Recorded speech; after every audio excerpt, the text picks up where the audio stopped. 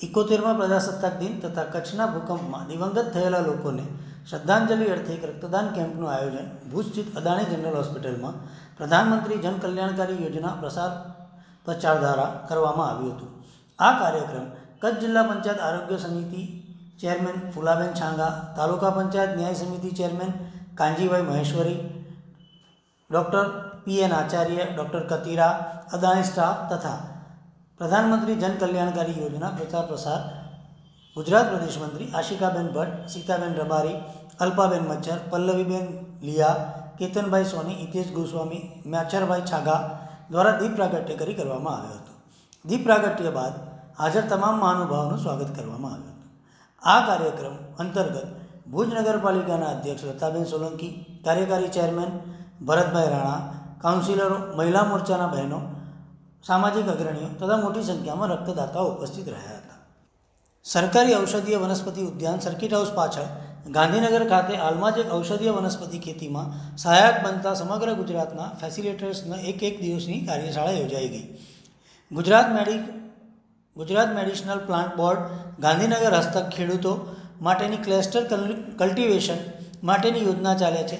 તે અંતર્ગત રાજ્યના વિવિધ ભાગોમાં લીંડી પીપર ઈસબગુલ આમળા કુંવારપાઠું ગળો, તુલસી, ગુગળ, સફેદ મુસલી, બ્રાહ્મી આસોડિયો શતાવરી અને ડોડી જેવા ઔષધીય જાતોની ખેતી હાથ ધરવા માટે ખેડૂતોને સબસિડી આપવામાં આવે છે. ફેસિલેટર્સ દ્વારા આ પ્રકારના કલ્ટિવેશન કાર્યમાં ખેડૂતો પસંદ કરવા, તેમને ઔષધીય ખેતીની સમજ અને માર્ગદર્શન આપવું અને ખેતી કરાવવા સુધીના કાર્યો હાથ ધરવામાં આવે છે. આ માટે ફેસિલેટર્સને બોર્ડ દ્વારા સહાય પણ કરવામાં આવે છે. બાવીસ જિલ્લાના પ્રતિનિધિ રૂપે ચાલીસ ફેસિલિટેટર્સ આ કાર્યક્રમમાં ઉપસ્થિત રહ્યા હતા. સદર કાર્યક્રમમાં બોર્ડ હેઠળના રાજ્યના સાત વિવિધ ઔષધીય વનસ્પતિ ઉદ્યાનોના બીફાર્મ આસિસ્ટન્ટશ્રીઓ અને ગાર્ડન સુપરવાઇઝરશ્રીઓ હાજર રહ્યા હતા. ગુજરાત ઔષધીય વનસ્પતિ બોર્ડના મુખ્ય કારોબારી અધિકારી ડૉક્ટર જગદીશ પ્રસાદ દ્વારા આ કાર્યક્રમનું ઉદ્બોધન કરતા સર્વે ફેસિલિટરશ્રીઓને બોર્ડ અંતર્ગત ચાલતી વિવિધ યોજનાઓની ભૌતિક, નાણાકીય જોગવાઈની વિસ્તૃત સમજ આપવામાં આવી હતી.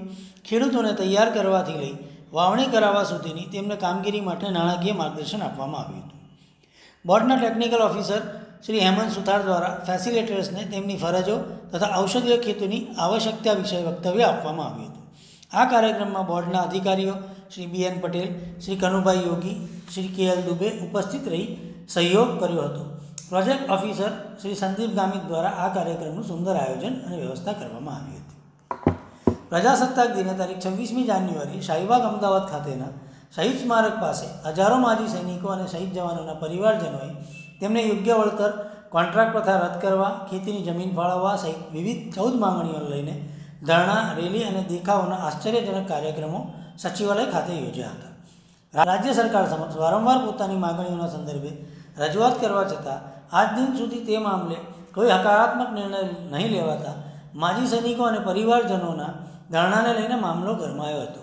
અને જ્યાં સુધી તેઓની ચૌદ માંગણીઓ નહીં સંતોષાય, ત્યાં સુધી આ લડત અને આંદોલન ચાલુ રાખવાની ચીમકી તેઓએ ઉચ્ચારી હતી.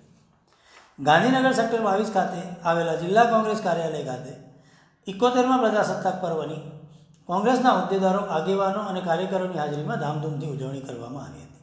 આ પ્રસંગે શહેર કોંગ્રેસ પ્રમુખ ડૉક્ટર કૌશિક શાહના હસ્તે રાષ્ટ્રધ્વજ થરકાવી ધ્વજવંદન કરાવવામાં આવ્યું હતું. આ ધ્વજવંદન પ્રસંગે કોંગ્રેસ જિલ્લા પ્રમુખ સૂર્યસિંહ ડાભી, પ્રદેશ મહામંત્રી નિશિત વ્યાસ, ચિમનભાઈ વિજુડા, ચંદુભાઈ વર્મા, ગણપતસિંહ વાઘેલા, રાકેશ જાની, કુમાનસિંહ રાણા, મિતુલ જોશી, કર્મજીતસિંહ વાઘેલા, અજીતભાઈ પરમાર, મેહુલ સોલંકી, અશ્વિન સુહાન, રાજુભાઈ પ્રજાપતિ, સવિતાબા ડાભી, લલિતાબેન ઠાકોર, કપિલાબેન ચાવડા શહેનાજ રાઠોડ તથા ચેતનાબેન પંડ્યા હાજર રહ્યા.